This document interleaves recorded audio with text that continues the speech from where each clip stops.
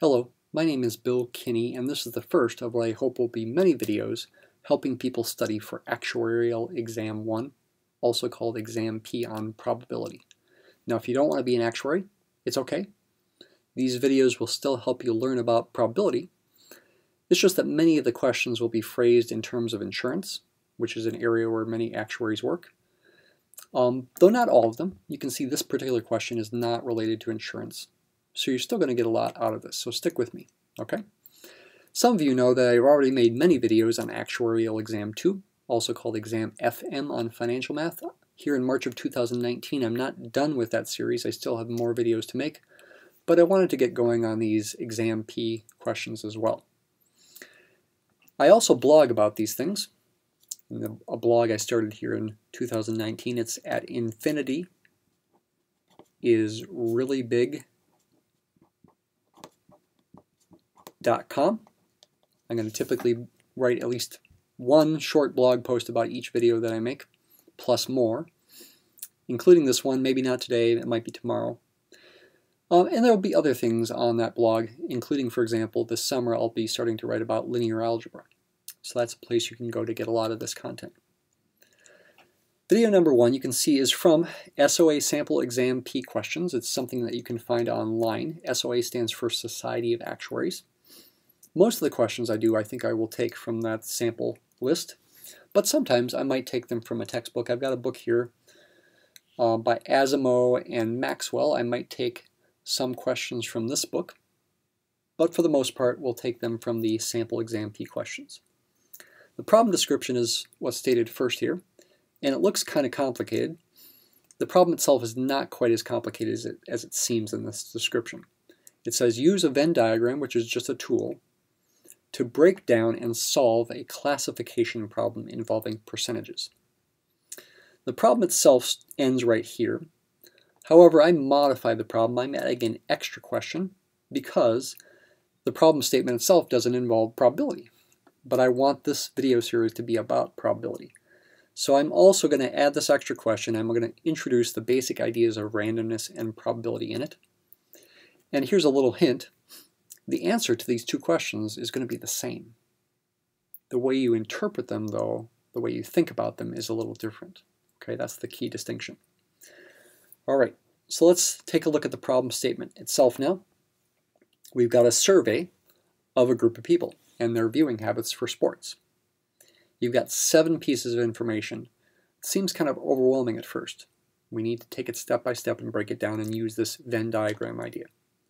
You're told, first of all, that 28% of these people over the last year watched gymnastics. Okay? Then 29% watched baseball. Then 19% watched soccer, in other words, football, of course, in every country but the United States, it's called football. 14% watched gymnastics and baseball. Emphasis on the word and, that's important here. 12% watched baseball and soccer. 10% watched gymnastics and soccer, and finally 8% watched all three sports, gymnastics, baseball, and soccer. Our goal is to calculate the percentage of the group that watched none of these three sports during the last year. And again, the extra question, what is the probability that a randomly chosen member of this group watched none of the three sports during the last year. And again, the answer to this is going to be the same as the answer to the first question. All right, so what is a Venn diagram? Well, a Venn diagram um, oftentimes is drawn as a group of circles or blobs, sometimes in a box. I like drawing in a box, so I will first try to draw a rectangle here that's representing my box. Okay, there's our rectangle, our box. And in fact, you might even use your imagination and pretend this is like the floor of a, a gymnasium or something. And you've got people here, these people, and they're going to stand in certain areas of this gymnasium based on what they've watched in the last year. That's a way to conceptualize what's going on here. You want to make three blobs or circles for these three sports. Let's put the gymnastics over here making it kind of look like a circle, but of course I can't draw a perfect circle. You might want to just more in general think of it as being a blob. I'll call it G for gymnastics. Then we want to have baseball. Some people watch both, right? There's overlap between the people who watch gymnastics and the people who watch baseball. So if somebody watched both gymnastics and baseball during the last year, they want to stand in both circles.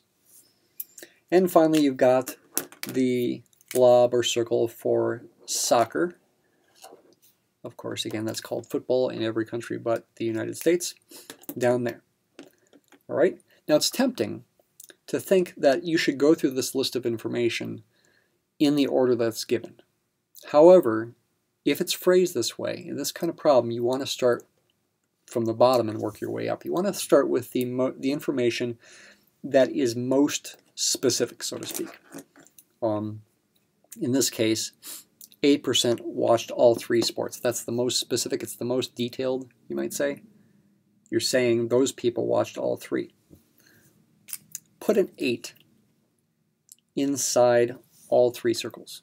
You can also put an 8% if you like, or a 0.08. 8% by definition means 8 per 100, 0.08. So whenever you convert a percentage to a decimal like this, sometimes the teacher might have told you, well, just get rid of the, the percent sign and move the decimal to the left two places. That's true. You might have wondered why. The reason is percent means per hundred. So 8% literally means 8 per hundred, like this. Okay, I put a percent sign there, but I, I think with the rest of these numbers, I'm not going to bother putting a percent sign. um, so we've taken care of the last piece of information. Let's cross things off as we use them. We'll continue working backwards. 10% watch gymnastics and soccer. Those are the people that are in both the red circle here and the purple circle. We've already accounted for 8% of them. So don't put a 10 here, put a 2 instead. Put whatever number you need to put there so that these two numbers add up to 10%. That's important to realize that these numbers that I'm going to label in each section of this diagram are not necessarily the numbers that are shown up here, but numbers that I have to figure out. We've taken care of that now. Continue backwards. 12% watch baseball and soccer, the green and the purple. We already have accounted for 8%, so we need four more percentage points worth of people. Put a 4 there so that 8 plus 4 is 12, and we've used that. Of course, you could literally imagine these being 100 people. And so you'd have eight people standing in here, two people standing in here, and four people standing in, in here, if that's helpful. All right, just continue working backwards. We're going to need all the pieces of information to figure out the question in the end. 14% watch gymnastics and baseball. You've already accounted for eight of those. So put 6 here. 8 plus 6 is 14. We've taken care of that piece of information. 19% total watch soccer. They are in the purple circle. We've already accounted for people in these three regions. So we need to put a number in this region here so that all four numbers add up to 19. 2 plus 8 plus 4 is already 14, so we need a 5 here so that all four numbers add up to 19, and we've taken care of that piece of information. Almost done. 29% watch baseball, they're in the green. We've already taken care of 18% of them, so we have 11% left over. Finally, 28% watch gymnastics. They are in the red circle. We've already accounted for 2 plus 8 plus 6 of them, 16%. So we have 12% left over. Okay? are we done? No. We haven't solved the question yet. Again, the goal is to calculate the percentage that watch none, that are not standing in any of these circles. Since the numbers that I've labeled here represent each of these pieces individually, they will add up um, to a certain percentage in this case that I am short of 100%. In other words, whatever these add up to, take 100 minus that number to get the people, the number of people, or the percentage of people that are standing outside of all three circles, meaning they watched none of those three sports. Okay, I'll do it in my head here. 12 plus 6 is 18 plus 11 is 29, plus another 10 there for those two is 39, plus 4 is 43, plus 5 is 48. Outside here goes 100 minus 48, 52, And again, that is representing a percent here, though, again, I said you can imagine it as representing a number of people if there are 100 people total. So the answer is indeed 52%. And that is answer D on the sample exam questions. Okay? And that indeed is also the answer to the extra question, was the probability that a randomly chosen member of this group watched none of the three sports during the last year. What's the dis distinction between percentage and probability? Well, nothing in terms of the answer. However, there is a difference in perspective. When you talk about probability, where you are assessing the likelihood or chances of something happening, you don't know if it's happened or not. You're not just describing some data you are imagining that you are about to do something. In this case, I'm about to randomly, somehow, pick one person from this group. And I'm wondering, what are the chances that that person watched none of those three sports? It's a slightly better than 50-50 chance. And that could affect things like if you were going to bet on the outcome, how will, much you'd be will, willing to bet. Okay, so it's it's a change in perspective. You're, you're thinking about the future. You are about to do something randomly and you're trying to assess the likelihood. When the probability is close to 100%, you're almost certain that the event is going to happen. If it's close to 0%, you're almost certain that the event is not going to happen. So that's the answer to this question. Many times at the end of these videos, I will try to do something extra. Not to just, you know, we've already solved the problem, but I'd like to do something extra. Uh, oftentimes that extra thing will involve using a computer program called Mathematica. That's actually what I do have here. Many people don't have Mathematica, but it can do some pretty cool things and it will help us understand lots of concepts more deeply. Here I'm doing it just to illustrate something. One thing that I'm illustrating is that you can just you can make a diagram like this that I drew by hand. You see the answer here. Um, but more importantly, conceptually speaking, I purposely tried in this Mathematica document, I'm going to show you the code here, to make the relative sizes of these different regions here uh, approximately correct. In fact, this box here is the unit square going from the origin to the point 10 to the point 11 to the point 01 and back down to the origin. It's got an area of one unit and I tried to make the areas that you see here labeled at, with percentages be approximately correct.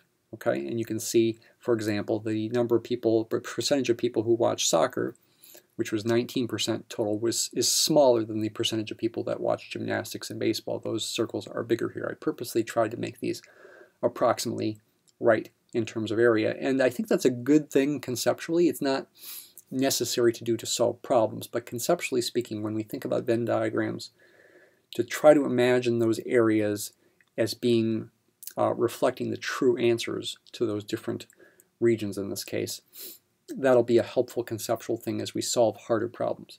If you're interested, here's some Mathematica code that I used to help me make the diagram. I was thinking about trying to figure out how the radius of a circle depended on its area, and this uh, function would compute that for me. That helped me figure out the radii of the circle that I needed. I also wanted to figure out where did these circles meet, the red and the blue circles here, and so this content here helped me ultimately figure out where those met. Um, if you know Mathematica, you could try to figure out what, what I'm doing here. I'm essentially solving some equations algebraically. I used calculus integral to help me calculate an area. In this case, this is the area between uh, the red and the blue that's in common here that's about 14%, and you can see this integral turns out to be close to 14%. And this is the code that actually helped me make the graphics itself if you're interested in knowing how to make the graphics on, on Mathematica using the math. Okay, obviously not the best way to make a nice drawing. There's a lot of work that went into that. But if you're interested, then you know.